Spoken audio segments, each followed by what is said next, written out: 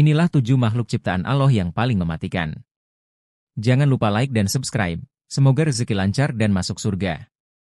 Pertama, Dajjal, sosok jahat yang akan muncul menjelang kiamat dan membawa fitnah terbesar di muka bumi. Kedua, Duhon, kabut tebal yang akan menyelimuti bumi selama 40 hari 40 malam sebagai tanda kiamat. Ketiga, ada Azazil, yang lebih dikenal sebagai iblis, bapak dari bangsa jin yang merupakan sumber kejahatan. Keempat, Yakjuj dan Makjuj, kaum perusak yang akan berperang melawan Nabi Isa dan Imam Mahdi di Palestina setelah kematian Dajjal. Kelima, Malaikat Israel, yang ditugaskan untuk mencabut nyawa setiap makhluk hidup. Keenam, Malaikat Israfil, yang akan meniup sangkakala di hari kiamat sebagai tanda akhir zaman. Terakhir, Arsi, makhluk Allah yang terbesar dan pertama diciptakan, menjadi pondasi bagi penciptaan alam semesta. Yang subscribe, semoga masuk surga.